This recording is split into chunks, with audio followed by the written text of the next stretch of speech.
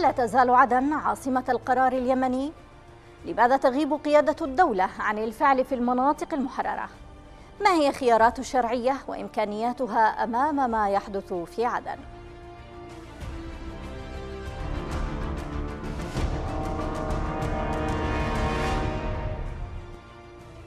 أهلا بكم تتعطل الحياة بعدن بين الاحتجاجات في الشارع الجنوبي نتيجة غياب الخدمات وبين غياب قيادة الدولة في العاصمة المؤقتة تتسع الأسئلة على ما يحدث من صراع ومن هدم للشرعية فكرة ووجودا ممارسة إرهاب فكري وحرب على الحريات الإعلامية وجباية على المشتقات النفطية وسيطرة على المنافذ فما الذي يحدث في عدن؟ هل أصبحت صورة مكررة عن صنعاء؟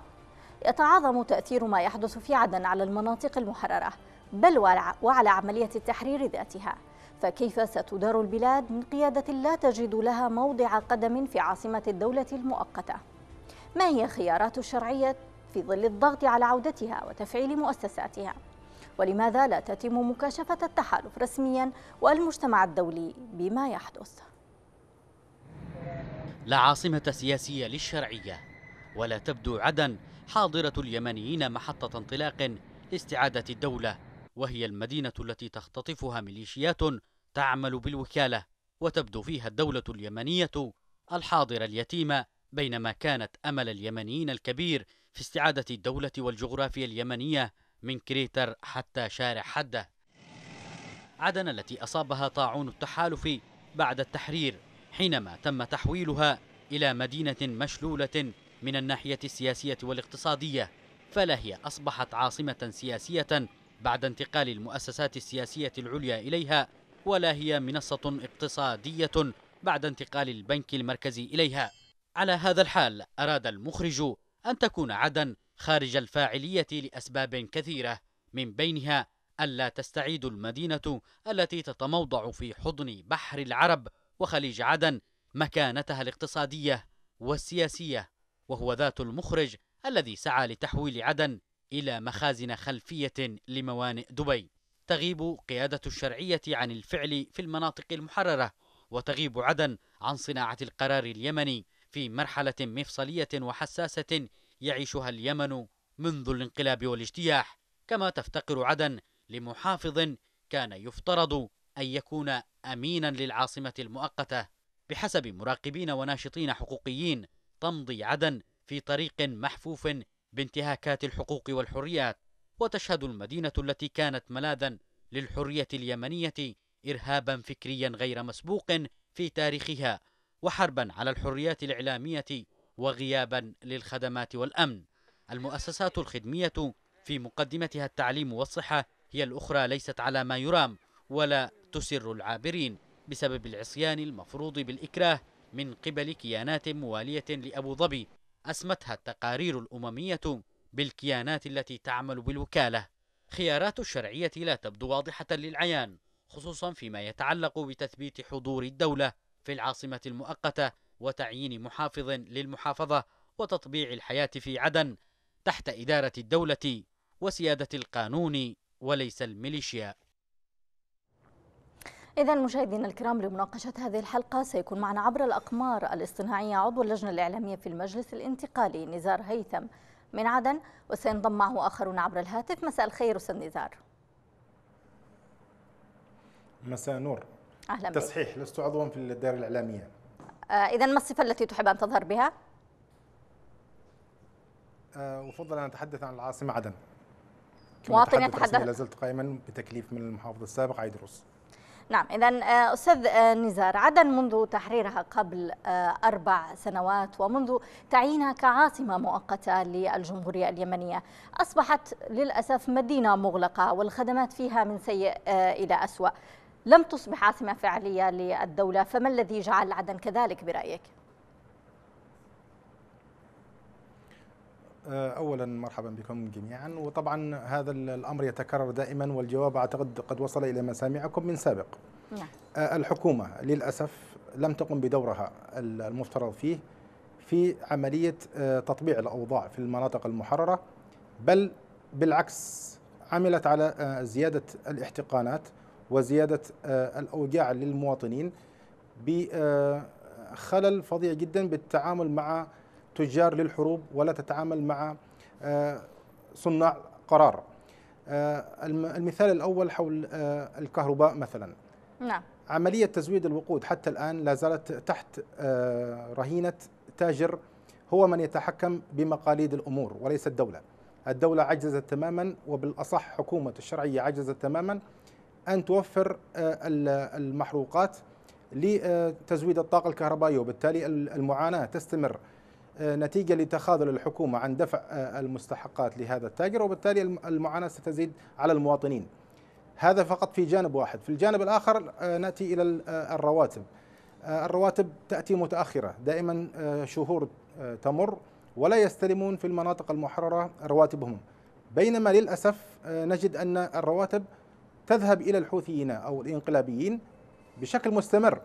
وهذه علامة استفهام واضحة أن هناك أطراف في الشرعية وبالتحديد أحزاب موالية آه، لجهات آه، معادية للتحالف العربي وللجنوبيين هي من تسعى إلى أن تزيد الاحتقان في الشارع الجنوبي وتحاول بقدر الإمكان أن تثير الفوضى. لا زال نعم الشارع يعني اسمح لي عند هذه النقطة الجنوبية.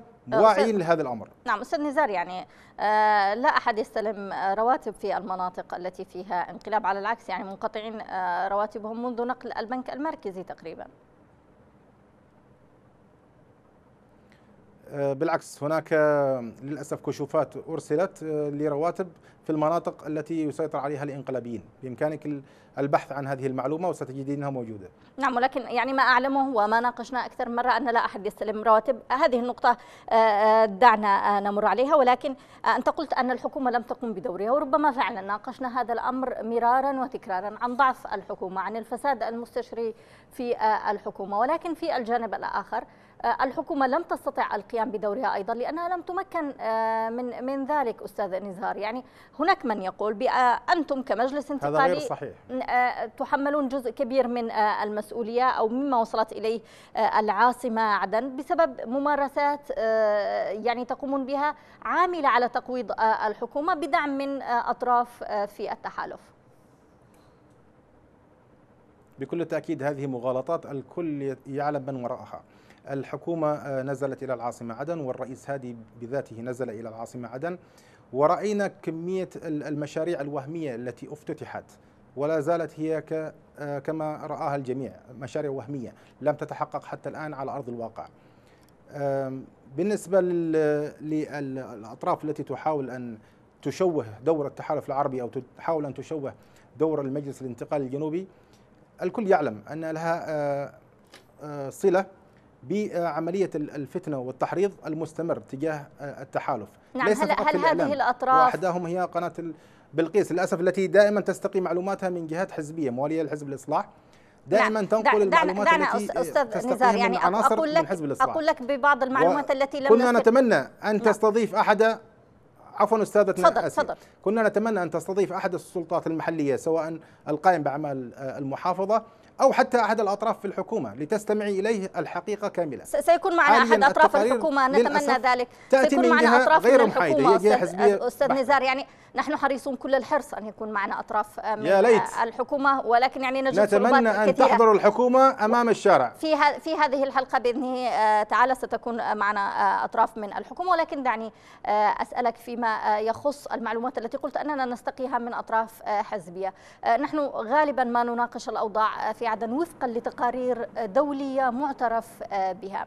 التقارير الدولية ولجنة العقوبات أيضا تحدثت عن دور الإمارات السيء ودور الميليشيا المسلحة الموجودة والتي تأتمر بأمر آه، الإمارات. هل يعقل أن تكون هذه أيضا الأطراف الدولية ضد الشعب الجنوبي وضد آه، ما يحدث في عدن وضد التحالف أيضا؟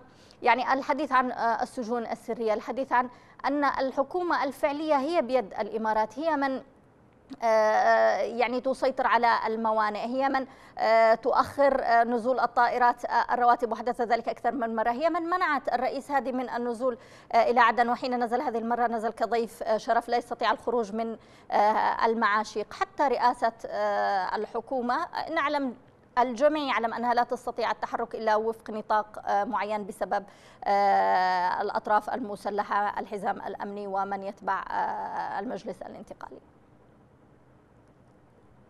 بكل تأكيد هذه الأعذار واهية وقد مرت على الشارع والشارع رماها خلف ظهره. الرئيس هادي كان يتواجد في عدن ويتحرك بحرية مطلقة وكذلك من يفترض أن يكون في رئاسة الوزراء السيء الذكر أحمد بن دغر. للأسف كان أيضا ينزل أتمنى إلى أتمنى ان أن نحافظ على المصطلحات أستاذ نزار الدكتور حاضر. أحمد عبد من دغر هو رئيس رئيس الحكومة نضع نضع لا لا لا نشخصن الحديث نحن نتكلم عن شخصية نعم. رئاسة فضل. الوزراء التي لم تقم بواجبها بشكل صحيح نعم. تلك تلك الحكومة للأسف عملت على إضعاف الاقتصاد آه، آه، المحلي كيف؟ عملت كيف؟ على زيادة الأسعار آه، وأيضا المشتقات النفطية وأيضا انهيار العملة كيف عملت على ذلك؟ يعني حدد لي بنقاط أستاذ نزار لا تتكلم بالعموميات. كيف عملت على تقويض الاقتصاد؟ ما هي النقاط التي أحدثتها لتقويض الاقتصاد؟ الجميع معترف أن هناك انهيار في الاقتصاد. نعم. من يتحمل هذه المسؤولية؟ من الذي طبع أموالا بدون غطاء؟ من الذي للأسف يحاول أن آه، يثبت آه، آه، رواتبه باعتقادك بالعملة الصعبة. دعني, دعني أسألك أستاذ نزار لما ستطبع الحكومة؟ يعني هذه المبالغ إذا كانت الموانئ متاحة لها والتصدير وتصدير النفط والديزل مسموح لها في هذا الأمر. ونحن نعلم جيدا أنه لم تتح لها الموانئ بحجة محاربة الإرهاب. فمن أين ستستقي الدولة؟ دعم لها إذا كان التحالف لم يدعم هذا غير صحيح هذا غير صحيح تماما. نعم إذا ما هي مصادر الدولة؟ ما هي مصادر الدولة التي تعمل على الأرض ولكنها لا تعمل لأجل المواطن. سيدتي نعم. العزيزة سنأخذ مثال واحد فقط على الحكومة الغير شرعية للأسف. وزير النقل عندما يتخذ قرارات ارتجالية أساسا هو اختيارات الحكومة لهذا الشخص كانت خاطئة. ولكن أختير غصبا عن الجميع.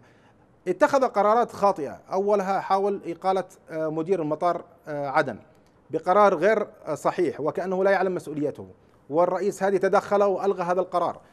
ثانيا قام بعمل قرار آخر لزيادة أعتقد رسوم إضافية على على البواخر لمحاولة تطفيش تلك البواخر من المرور إلى عدن أين, أين هذه البواخر إذا كانت الموانئ ليست مفتوحة أستاذ نزار. اسمح لي فقط يعني للرد على بعض استفساراتك وأنت طلبت بإمكانك سؤال وزير النقل تصريحات وزير النقل. هو كانت الآن معنا هو الآن معنا وزير النقل. مستمرة. نعم أستاذ نزار هو الآن معنا وزير أهلا النقل. وسهلا. الأستاذ صالح الجبواني من لندن عبر الهاتف. مساء الخير أستاذ صالح. مساء النور. نعم إذا أستاذ آه، صالح يعني تتهم الحكومة آه، بكثير من آه، قضايا الفساد وقضايا اللا حكم في الدولة بأنها في عدن بالذات بأنها حكومة ضعيفة لعدد من الأسباب. ربما ذكر الأستاذ نزار هيثم الذي هو معنا عبر الأقمار الاصطناعية.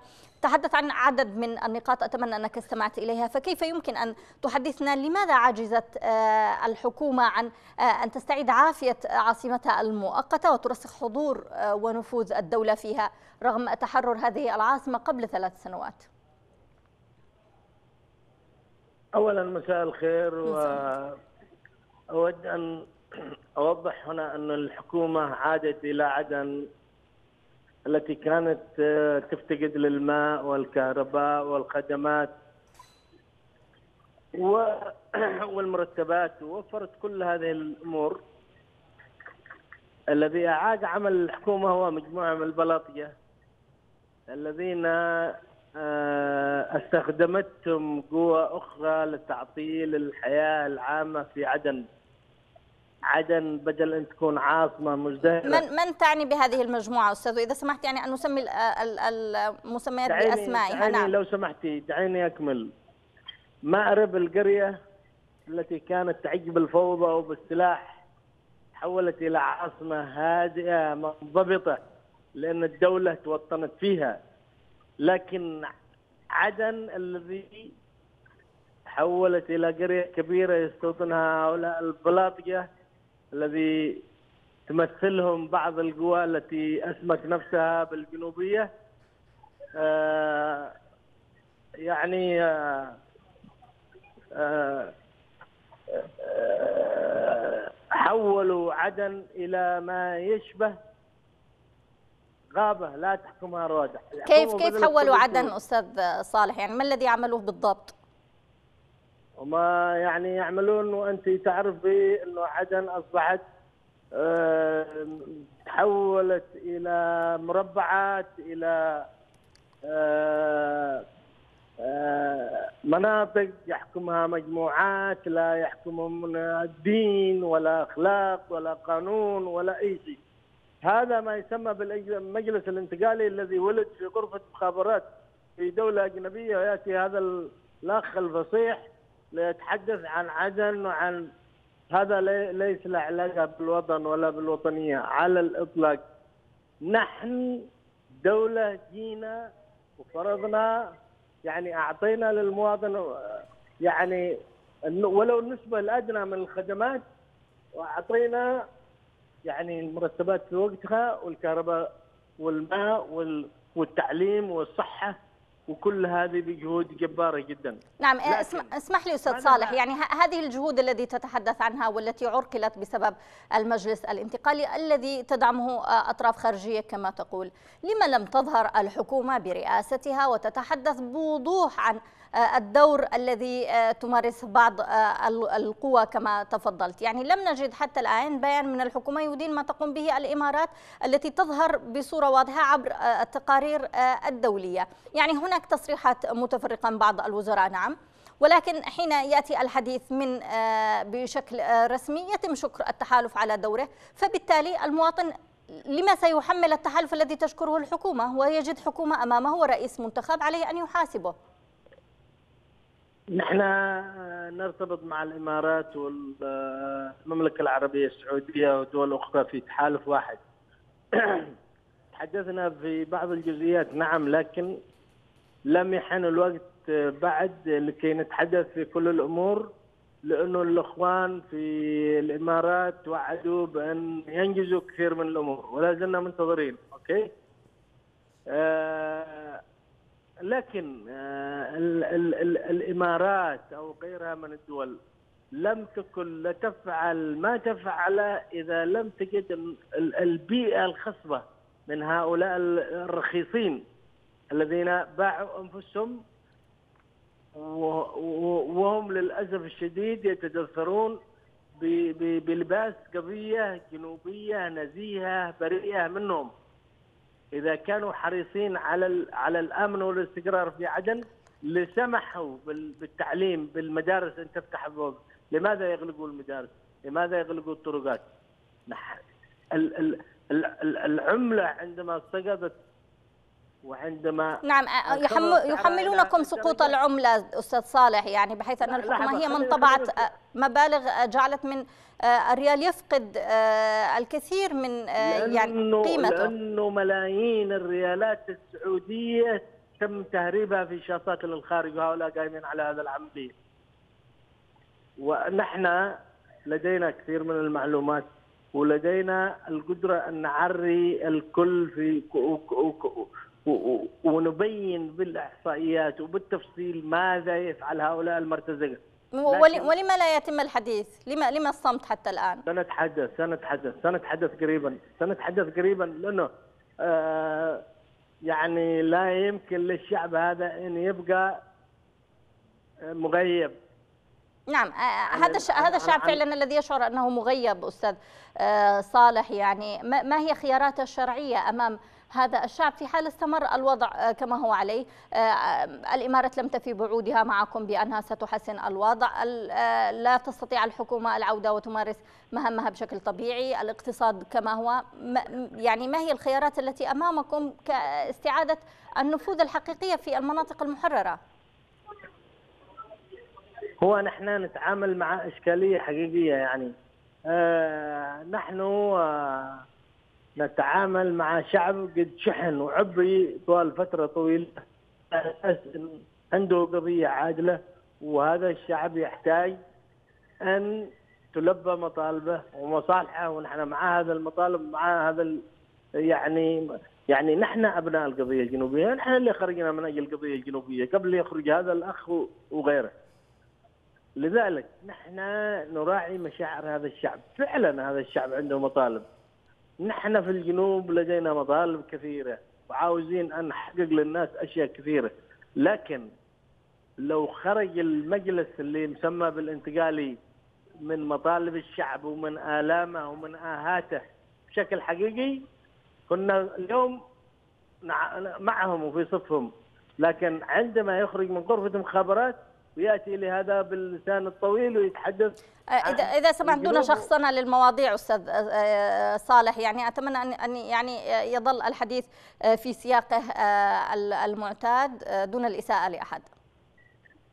لا لا هم أساءوا لأنفسهم. نحن لم نسيء لأحد. نحن نحن أصلا ولدنا في خضم النضال منذ بعد منذ حرب 94 إلى اليوم.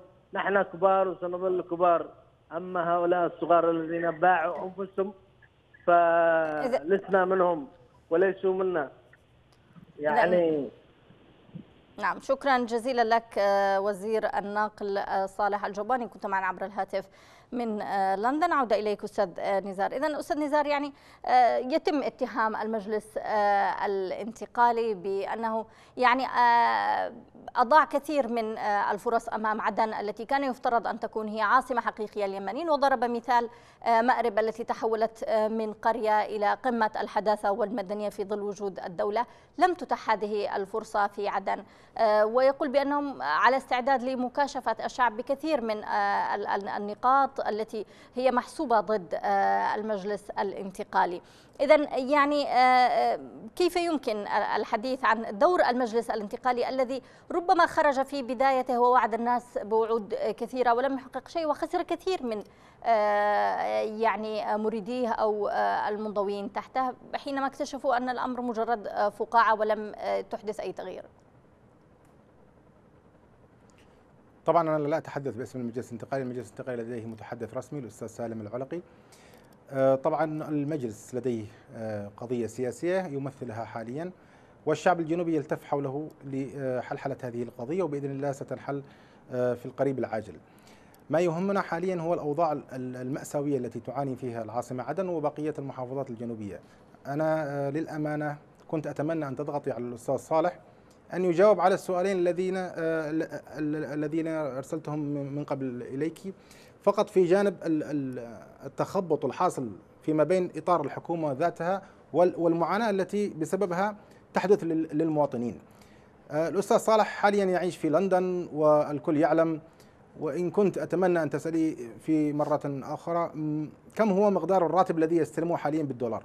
نعم يعني هو حاول الدخول حاول الدخول الأستاذ صالح أو المواطنين أو الموظفين. اسمح عند هذه النقطة يعني هو يعيش آه، في لندن لماذا؟ حاول الدخول وممارسة مهامه آه، في آه، المحافظات المحررة ولم يسمح له من قبل الحزام الأمني آنذاك. يعني في نهاية الأمر ما المطلوب من وزير لم يمكن من أرضه ومن ممارسة عمله على الأرض؟ يعني وحين وحين وحين يخرج يتهم بأنه هارب الفار يعني الذي آه، آه، خرج يتحدث إلينا من آه، عواصم الدنيا. حتى هذه لم يستطع المكوث. الآن أين بن دغر يعني الكثير من النقاط محسوبة ضد يعني مدنية عدن التي كانت مفتوحة للجميع. أنا أستغرب هذه التبريرات منك أستاذتنا العزيزة الأستاذ أحمد الميسري أو المهندس أحمد الميسري لا زال هو نائب رئيس الوزراء ويتواجد في العاصمة عدن. لماذا لا يذكروه؟ لماذا يعتمدون فقط على آه، أحمد بن دغر أو غيره؟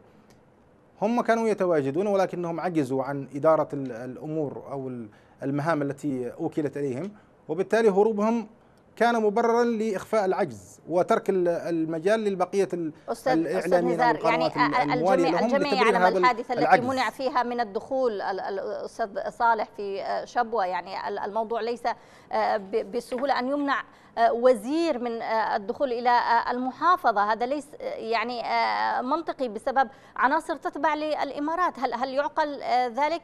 ما الذي يعني يراد أن أن يأخذ سلاحه ويواجه في نهاية الأمر؟ يعني هو وزير مدني في دولة مدنية يفترض. أنا لا أعلم من أين تستقون هذه الأخبار. الوزير بنفسه ينشر صور له وهو في ديوان قاد داخل عدن. فمن أين تستقون هذه الأخبار أنه يمنع في أي منطقة أنا لا أعلم أين أنت أنت أستاذ نزار يعني أين أنت من المؤتمر الصحفي الذي علم به الشارد والوارد؟ يعني هل يعقل ان فاتك موضوع مثل هذا؟ نحن لا نستقي الاخبار أعتقد يعني فاتني نحن لا نختلق أخبارا من الراجل ينشر صور في ديوان قات وفي الأخير يجي يقول ما حد يقدر يخليني أمر في نقاط عسكرية. هذا غير منطقي. وبعدين هو إيش دخله في المناطق العسكرية هو عنده الميناء موجود المطار ليش ما يتحركش لهناك كيف يعني؟ ذهب لزيارة الميناء أستاذ نزار ومنع حينها يعني حتى كلمة إيش دخلوا في المناطق العسكرية لا تقال لوزير يعني على دولته يتنقل أينما شاء هل يعقل أن يمنع من هذه المنطقة أو تلك لأنه ليس عسكريا؟ صحيح ولكن لابد أن يكون هناك تنسيق مسبق في مع من تنسيق مسبق مع من وأعتقد أن الأمر مع الإمارات. ناتج عن خلل في التنسيق فقط ليس إلا وليس منع ولكن ناخذها كمبرر إنه والله هناك جهات منعته. أعتقد هذا الأمر غير صحيح. التنسيق التنسيق التنسيق آه يأتي من الخارج أستاذ نزار. هل, هل يعقل ذلك أن يعني يمنع وزير لأنه لم يتم تنسيق مروره من الإمارات؟ هل يعقل ذلك؟ هل تقبلها أنت يعني أن أن يمنع وزير بالتنقل في آه، مدنه المحررة لأنه لم يستأذن من آه، دولة خارجية؟ أي تحرير هذا الذي نتحدث عنه إذن؟ قبل خمس دقائق قبل خمس دقائق الأستاذ صالح تكلم وقال لك إنه هو مع التحالف العربي مستمرين في نعم آه وتحدث يعني وتحدث أن الإمارات لم يذكر نهائيا ضد أي جهة هو ذكرها. نعم انت تبنتي هذا الموضوع. لكنه تحدث أيضا بوضوح أنه اتفقوا مع الإمارات أن تحسن من أدائها في عدن وهم بانتظار هذه الوعود أن تحقق. يعني آه، تحدث بذلك بشكل واضح أيضا. ما يعني ماذا تريد؟ ونحن نتمنى بالفعل أن تحسن الحكومة من وضعها. ونحن كذلك يعني ولكن للأسف لا يمكن أن تحسن الموضوع. لا تظن أنني أجمل الحكومة أو أدافع عن أحد لكننا ندافع عن وضع فعلي يعني في الأرض. لا أحد انتقد الحكومة كما انتقدناها نحن. يعني في كثير من الحلقات انتقدنا أداء الحكومة انتقدنا أنا فشل أتمنى الحكومة. إذا أردت الحقيقة أن تستدعي أحمد بن دغر يوما أمام الناس ليتكلم بالحقيقة. وإذا قال أن نحن مسؤولين عن هذا الموضوع سنتحمل مسؤولية. لكن إخفاء المسؤولية وتبريرها هو أمر غير منطقي، الشارع يغلي وهناك ثورة على الأرض وبالتالي لابد أن يكون هناك بالفعل حلول ولا يجب أن يكون هناك مبررات واهية مثل هذه التي نسمعها الآن. نعم إذا اسمح لي أن ينضم معنا الكاتب شفيع العبد من آه، القاهرة عبر الهاتف. مساء الخير أستاذ شفيع. آه، مساء النور آه، عزيزتي. أهلا بك وثلاث سنوات أو أكثر لم تنجح فيها عدن أن تصبح عاصمة مؤقتة لليمنيين. من المسؤول عن هذا الفشل برأيك؟ آه، كما ذكرتي ثلاث سنوات لم تأخذ عدن مكانتها كمدينة أولا. نعم. والمكانة التي تليق بها أيضا كعاصمة سياسية مؤقتة لليمنيين. الحال الذي وصلت إليه عدن اليوم بعد مضي هذه السنوات لا يسر أحد ولا يتحمل مسؤوليتها طرف دون الآخر. يأتي في مقدمة المسؤولين عما حدث داخل عدن من تجريف لهوية المدينة وتجريف لحضور الدولة وإعاقة حضور الدولة بالشكل الأمثل منذ اللحظات الأولى لتحرير المدينة. يأتي في مقدمة المسؤولين التحالف العربي الذي انحرف عن أهدافه الحقيقية التي جاء من أجلها إلى اليمن. أقصد الأهداف المعلنة. نعم. لا أتحدث عن الأهداف الأهداف الخفية التي بدأت تظهر بعض ملامحها. التحالف الذي عمل أحد أطرافه على إيجاد سلطة موازية، سلطة أمر واقع أعاقت كثير من المهام التي يفترض أن تقوم بها الحكومة. كذلك الحكومة الشرعية تتحمل مسؤولية كبرى أيضا إضافة إلى التحالف العربي. آه الأطراف الأخرى الوكلاء الذي أنتجهم أحد أطراف التحالف داخل مدينة عدن يتحملون الجزء الآخر باعتبارهم سلطة أمر واقع. هذه الأجهزة الأجهزة المسلحة التي تم انشائها داخل عدن تتحمل أيضا جزء من المسؤوليه.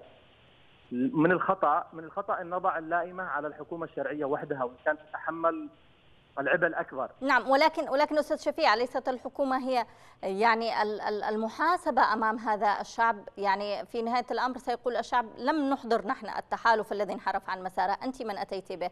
لم آه، نقل آه، أن تكونوا ضعفاء حتى تتكون سلطات أخرى بجانب سلطاتكم. في نهاية الأمر الشعب لا يعرف إلا الحكومة المنتخبة الحكومة التي آه، ارتضاها له ورئيس انتخبه واعتبرها شرعية بالنسبة له ودفع الدماء لأجل شرعيتها هذه. لا لا لست هنا بصدد الدفاع عن الحكومة أو عن الشرعية بشكل عام. لكن لابد أن ناخذ نأخذ في عين الاعتبار المعطيات اللي موجودة على الأرض والتأثيرات التي هي حاضرة في اتخاذ القرار السياسي داخل المدينة. إذا ما أخذنا بسبيل المثال الضغوطات التي مورست على الشرعية لإخراج المحافظ نايف البكري من عدن. وكذلك المدينة إلى اللحظه إلى اللحظة المدينة ليس لم يعين لها محافظ. أيضا لاعتبارات خارج إرادة الحكومة الشرعية، هناك ضغوط تمارس لفرض أسماء معينة لفرض أجندات معينة عمليات ابتزاز ستم تتعرض لها الحكومة تتعرض لها الشرعية. كل هذا والشرعية أيضا تتحمل جزء كما أسلفت جزء كبير من المسؤولية. لكن بالمقابل الشرعية تقدم تنازلات هدف الحفاظ على الهدف الأسمى والذي هو دحر الإنقلابيين واستعادة الدولة. الحكومات والشرعية تحاول بقدر المستطاع أن تحافظ على تماسك التحالف العربي حتى لا يأتي الخلل من الحكومة الشرعية، بينما الأخوة في التحالف العربي أو أحد أطراف التحالف العربي لا يقدروا هذا الأمر ويمارسوا كثيرا من الضغط وكثيرا من عمليات الابتزاز على الحكومة الشرعية. هناك ضعف في أداء الحكومة الشرعية هذا لا يستطيع أن ينكر أحد حتى أطراف الحكومة الشرعية يستطيعوا أن يتحدثوا ومثل ما تحدث الرئيس هادي عندما كان في عدن والتقى بقيادات من شخصيات السياسية والمدنية داخل المدينة بأن ليس راضي عن ما يدور داخل المدينة. لكن أيضا هذا لا يعفي من تحمل المسؤولية واتخاذ إجراءات حقيقية في اتجاه إيجاد سلطة داخل مدينة عدن باعتبارها عاصمة سياسية لليمنيين كلهم، اليمنيين قاطبة. لا لا تمييز داخل المدينة هذه. يفترض إنه يتم. آه، أيضا يفترض إن يعامل اليمنيين كلهم. مؤسسات الدولة لابد أن تشمل كل الأبناء اليمن باعتبار إنها عاصمة مؤقتة، كل الموظفين لابد ينزلوا يمارسوا مهامهم داخل داخل أجهزة الدولة، داخل مؤسسات الدولة، داخل العاصمة عدن. نعم. لكن عمليات الابتزاز من قبل سلطات الأمر الواقع كثير من هذه الخطوات التي تتم كلما نعم يتحدث معنا يعني أنه, أنه لم يتم منع أحد وأن على الحكومة الضيف عبر الأقمار الصناعية الأستاذ نزار يقول بأنه لم يمنع أحد وأن الحكومة آه، تواجدت آه، في آه، يعني في عدن ولم يمنعها أحد من التواجد ولكنهم مقصرون عن أداء واجباتهم في العاصمة المؤقتة ويتعللون ببعض الأعذار حتى يخرجون منها ويعودون إلى مدن أخرى. الأمران موجود معنا. التقصير ومحاولات المنع وما حدث في 13 يناير الماضي من محاولة اقتحام قصر المعاشيق دليل واضح على أن هناك سلطة موازية للسلطة الشرعية، السلطه تريد أن تفرض أمر واقع، تريد أن تظهر في الإعلام وأمام قواعدها الجماهيرية بأنها حاضرة لكنها تتنصل من تحمل مسؤولياتها إذا تردد خدمات داخل المدينة. لا هي التي أستطاعت أن توفر هذه الخدمات للناس ولا هي التي مارست ضغط على الحكومة في إطار النضال السلمي في إطار عملية سلم شكل من أشكال العمليات النضال السلمي بعيدا عن الابتزاز واستعراض العضلات داخل المدينة. ما يحدث اليوم هناك سلطات داخل المدينة يفترض بها إنها تتبع الحكومة الشرعية لكنها لا تأتمر لأوامر الحكومة الشرعية وفي مقدمتها أمن عدن كما كما هو معلوم للجميع. نعم. داخل عدن في في سلطات شتى داخل عدن ليست سلطة واحدة. في سلطات يعني داخل كل مديرية داخل كل حي أحيانا اذا يعني آه، اذا ما الفرق أستاذ أستاذ شفيع يعني هناك هناك عمليات نعم. هناك من يتساءل اذا ما الفرق بين عدن وصنعاء؟ ربما في صنعاء على الأقل هناك سلطة واحدة. آه، تعدد السلطات هذا آه، يعني أساء إلى عدن بشكل واضح. وهناك من يقول ما الفرق؟ الجبايات موجودة هنا وهناك اللا امن موجود هنا وهناك القمع والسجون السرية والاختطافات والاغتيالات. يعني ربما ظاهره في عدن أكثر عزيزتي من أبرز العوامل التي أدت إلى تأخر يعني حسم المعركة أمام الحوثيين واستعادة مشروع الدولة يتمثل في عدم قدرتنا في الحكومة الشرعية مع التحالف العربي على إيجاد نموذج دولة حقيقي داخل مدينة عدن عاصمة لليمنيين. فبالتالي لكن كيف كيف استطاعوا إنجاز هذا النموذج في مأرب أستاذ شفيع؟ كيف تم يعني الجميع تحدث عن مأرب أنها نواه لدولة لا بأس بها في ظل الحرب؟ هناك في في مأرب نستطيع أن نقول أن ربما نموذج يوجد أو يتشكل داخل مأرب لأن هناك في سلطة واحدة. حتى فيما يتعلق بالمقاومة داخل مأرب لم تكن هناك قيادات مقاومة كما نسمع في عدن.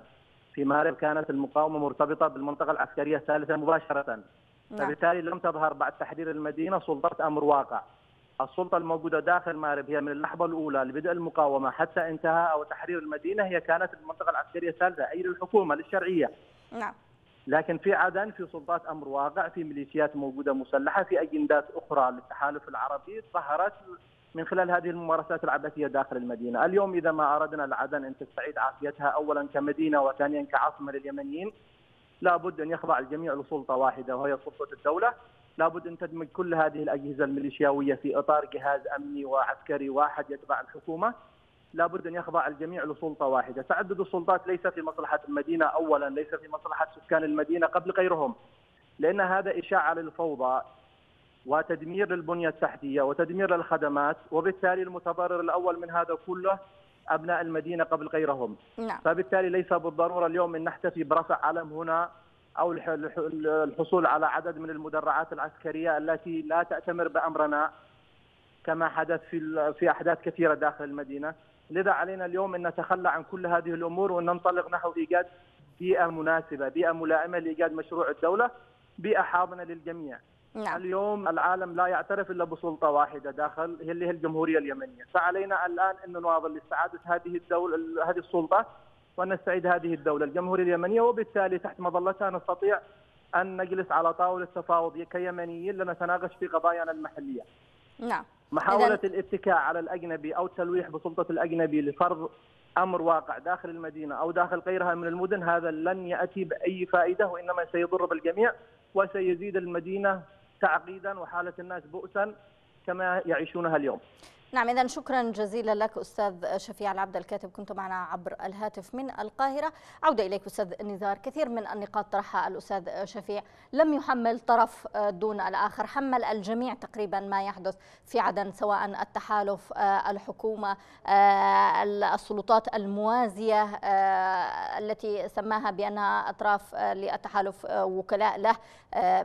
أستاذ نزار يعني لما لم يكن هناك نموذج آه، حقيقي يتبع للدولة ثم تأتي المطالبات آه، بما شاء من آه، يعني قضايا تخص أبناء الجنوب التي يراد لها. لما تنشأ سلطة موازية للدولة تريد أن تسيطر على الواقع دون أن تلتزم آه، بشيء من آه، تقديم الخدمات للمواطنين. هذه السلطة آه، ذكرها الأستاذ شفيع بأكثر من نقاط. ربما أمن عدن السلطات المسلحة يعني الميليشيا المسلحة التي تتبع الإمارات الحزام الأمني إلى آخره.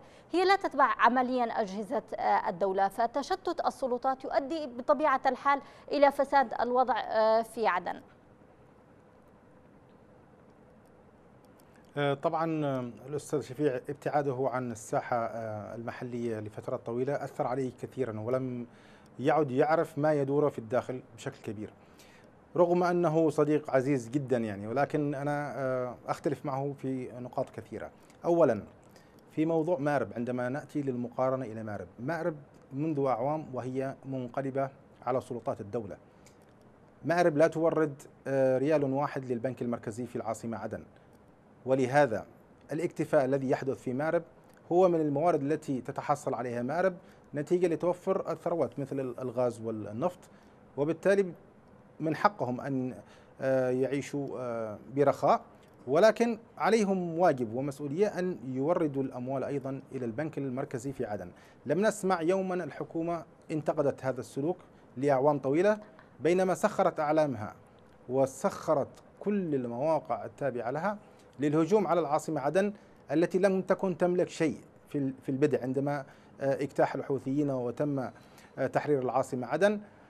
لم تكن تملك شيء في عدن. آه، عدن بدأت منذ أدارها الشهيد جعفر رحمة الله عليه وتلاه القائد عيدروس. قدرت أن تعيد الموارد إلى العاصمة عدن. استطاعت أن تشغل الميناء استطاعت أن تشغل المطار استطاعت أن تؤمن العاصمة عدن من التهديدات الإرهابية.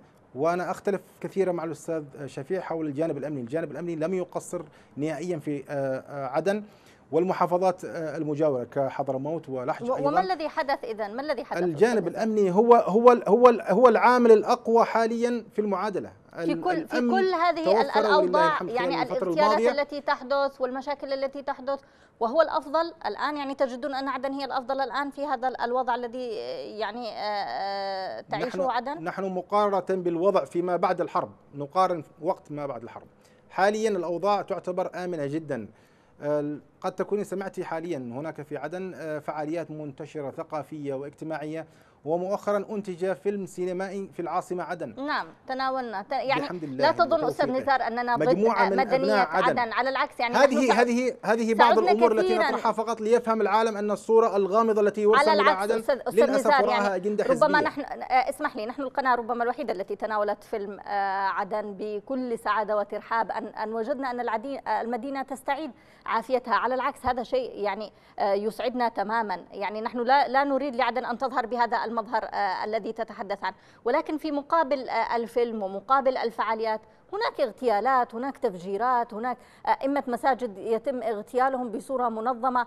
يعني ليس الجانب وردي تماما ولا هو مظلم تماما أعلم ذلك. ولكن يعني أن تقول أن الأمن هو أفضل ما يكون عدن لم تكن أبدا طاردة لأحد. عدن لم تكن أبدا توجد بهذا بها هذه الصورة من الدم. توافقني الرأي في هذه النقطة؟ الجرائم تحدث في كل أنحاء العالم وليست في عدن فقط بإمكانك التركيز على مدن أخرى. في مارب ذاتها ستوجد الجرائم أيضا ولكن لا يسلط عليها الإعلام الحزبي لمارب. لكن عندما تكون هناك حادثة في عدن فيتم تكبيرها وتضخيمها وبالتالي تصوير الأمر بشكل سوداوي أن هناك نعم. أوضاع مختلفة في العاصمة عدن. هذا أمر. الأمر الآخر والذي يجب أن نركز عليه هناك أطراف للأسف هي من تهيمن على قرار الشرعية وهدفها الأول والأخير التحريض ضد التحالف وأيضا تشويه الجنوبيين كقيادات آه، آه، حاليا على الأرض لا تستطيع أن آه، تقيم الدولة أو تقيم نعم اذا مؤسسات الدولة. نعم وهذا لي أمر غير صحيح. من نعم. يتواجد حاليا هم جنوبيون قادرون أن يديروا الدولة ولكن للأسف النفوذ الذي يتواجد مع الرئاسة التي يهمل عليها حزب الإصلاح لا تمكنهم من نعم أنا أنا لا أدري من هم الجنوبيين الذين تريدون أن يمسكوا المشهد إذا كان بالضبط هو جنوبي والرئيس جنوبي وأغلب وزراء الحكومة هم جنوبيين. لكن اسمح لي أستاذ نزار أن ينضم معنا أيضا عبر الهاتف قاسم داود رئيس مركز عدن للرصد والدراسات. آه، من هناك؟ مساء الخير أستاذ قاسم. مساء الخير. إذا أستاذ قاسم يعني آه، الأوضاع ليست سيئة كما آه، يعني آه، يراد لها هناك أطراف. كما يتحدث معنا ضيفنا الأستاذ نزار هناك أطراف ضد التحالف. تريد تشويه ما يحدث من خدمات يقدمها التحالف. وهناك يعني إرادة ألا يتم تطبيع الأوضاع في عدن. هل تتفق مع هذا الأمر أم أنه فعلا الحكومة لم تمنح فرصتها لتطبيع الوضع هناك؟ الحديث عن عدن لشلون مشكلة عدن إنه الكل يحب عدن والكل والكل يعشق عدن والكل يتغنى بعدن ولكن أوضاع عدن تزداد سوءا، عدن الآن هي عمليا بؤرة الصراع. الناس من كم سنة يتكلمون عن السعادة صنعاء عن التحرير صنعاء بينما الحقيقة الصراع هو حول عدن والإسقاط عدن وكل المشاريع تتصارع في عدن. وهذا هو الوضع عدن تعقد المسؤول الأساسي عما آل إليه الوضع في عدن الحكومة في حكومة في البلاد معترف فيها لديها الموارد هي المسؤولة عن اداره البلاد بما فيها عدن وهي التي أعلنت عدن عاصمة مؤقته. نعم. ولو يعني لم تقدم شيء لعدن وإجراءاتها ووجودها كان عبء على عدن وعلى أبناء عدن للأسف. والمشاكل معقدة هي. عدن طوال سنوات سابقة عانت كثيرا لم تشهد أي تنمية لم تشهد أي استثمارات لا في الكهرباء ولا في غيرها.